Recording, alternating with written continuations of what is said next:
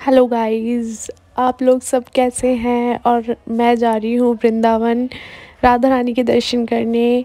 और यहाँ पर मेरे को बस में बैठने के बाद थोड़ी सी भूख लगी तो मैंने कुछ खाया। और ये जो आंटी मेरे पास बैठी है, ये बहुत स्ट्रिक्ट थी।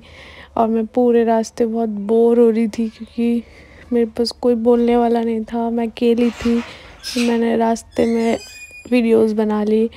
और ये टिकट भैया आए जिन्होंने मुझे टिकट दी, ये बस स्टैंड है मथुरा का। फिर मैं वहाँ पहुँची, मैंने रात रात हो गई थी बहुत ज़्यादा। फिर मेरा भाई आया था तो हम लोगों ने ढाबे पे खाना खाया और फिर हमने सुबह चार बजे राधा रानी के दर्शन किए और उसके बाद बहुत अच्छा लगा। यहाँ सुबह चार बजे आरती हुई, राधा रानी के दर्शन देखे श्री राधे राधे राधे। उसके बाद मैं सात बजे, आठ बजे घर आ